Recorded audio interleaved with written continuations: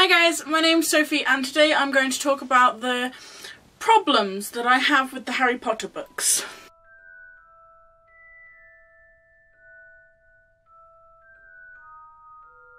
Okay, so the intro to this video was a little bit misleading because I don't have an issue with the Harry Potter books as in the writing. I have absolutely no issue with those. I love the Harry Potter books and they're such a massive part of my childhood that I don't think I could ever really have a major issue with them because I think a lot of the things that people point out as being things that are bad I kind of saw like that the classic kind of oh, she kind of tacked on Dumbledore being gay at the end.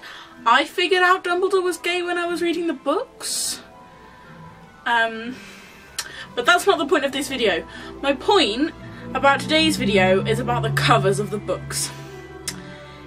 If you live in the UK, you are aware of what the Harry Potter covers should look like. And the spines look like this. And the covers start off with the Philosopher's Stone and it looks like that.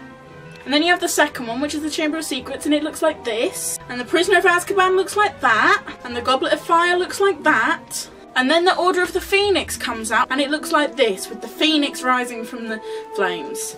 And then you have the Half-Blood Prince, which looks like this. And lastly, you have the Deathly Hallows that looks like this. I'm going to put these down because they're actually really heavy. So like I said, the first one looks like this. This is technically the children's edition of the first covers of Harry Potter. And this is what the cover is. Now I have two issues with this book, the cover of. First being the title in anywhere other than the UK. Philosopher is a profession. It's someone who studies philosophy and they think about things and they think about them really hard and they think about why stuff happens by thinking. Like, they don't use science, they just think about stuff. And that's a profession. And the Philosopher's Stone is called the Philosopher's Stone because the guy who made it was a philosopher who thought about stuff. Changing it to the Sorcerer's Stone, I have no. No. If you call this book The Sorcerer's Stone, you are wrong. It's Harry Potter and the Philosopher's Stone. It just is. And if you say The Sorcerer's Stone, you just, you hurt in my heart a little bit if you call it The Sorcerer's Stone. My second issue with this cover, which is the main issue that I have with most of the covers, is with actually with all of the covers, this is the issue that I have with the Harry Potter covers, is that this is what Harry Potter looks like. This is the Harry Potter books. And while in most cases with books I have absolutely no issue with cover changes, with Harry Potter, you touch this cover, you die. Like, I I really like the artwork on the new UK and new American covers that they've literally just released like in the past month or so, but I hate them. Because to me, touching the cover, touching this cover, changing it in any way, shape or form is blasphemy. And like, that's true of all the editions. So when these books came out, the first four the only copies in the UK you could get looked like this. And then kind of book 5 and book 6 and book 7 came out and they produced these adult covers which looked like this. But they had these adult covers that were like dark and mysterious and oh it's an adult book. And I'm like no no no this cover these covers is what Harry Potter is. And then after the book series was finished and after the t after the TV series, after the films had all come out, they did another cover change to these disgusting covers. I hate these covers with a passion, like more than any of the other cover changes. These covers are disgusting.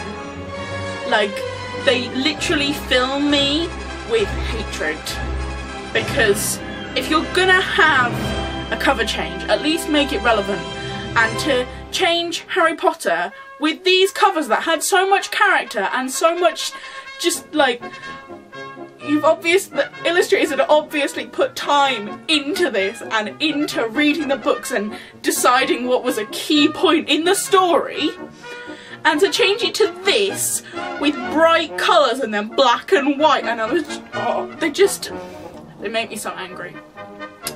And then you have the US covers so the US have got these covers and this is the the Sorcerer's Stone cover. I can't say I'm not no it's the Philosopher's Stone. And like it's it's bearable. Like it's I can I can understand how that could be the cover of the Harry Potter that you grew up with and I can kind of I can almost let that slide like I can I can deal with people in America believing that these are the covers. But then they've released these new these new UK and these new US covers. And like I said, the artwork is gorgeous. I really, really, really love the artwork. I have nothing against the illustrators. But they've changed the covers and I can't, I can't, I just, no. Harry Potter looks like this. The spine looks like this. There's an illustration on the back.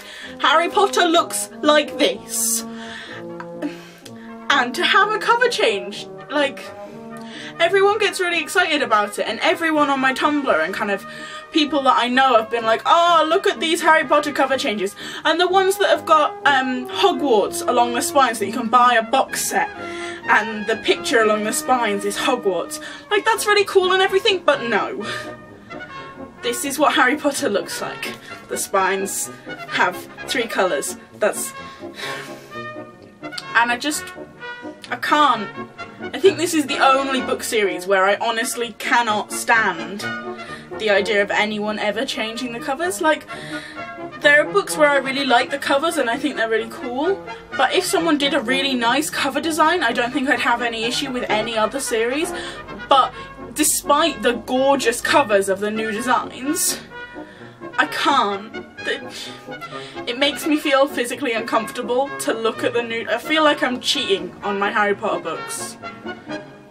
I genuinely feel like I'm betraying them for looking at their, like, sleeker models. And I can't, like, it just doesn't feel right.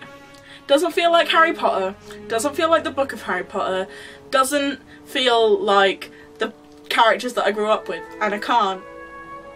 I just, they look like this, this. So, thank you for putting up with my really strange rant. Um, comment down below how you feel about the Harry Potter covers, like do you like these ones, do you like the adult ones, do you like the US ones?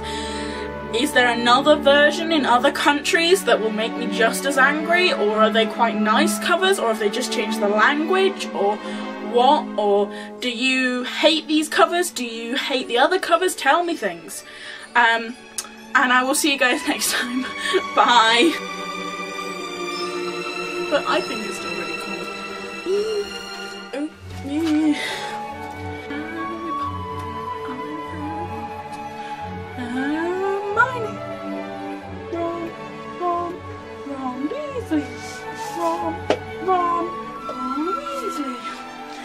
you haven't seen Harry Potter Puppet Pals, what are you doing with your life? Standing on a spoon.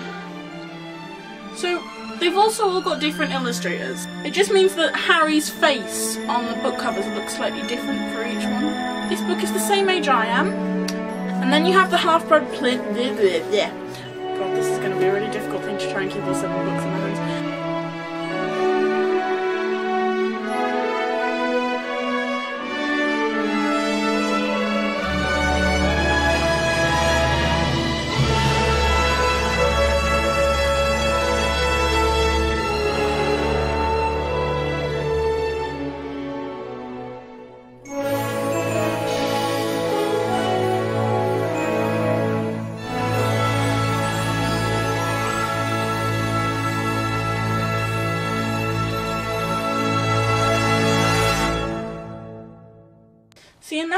read Harry Potter. This was a bad video to make.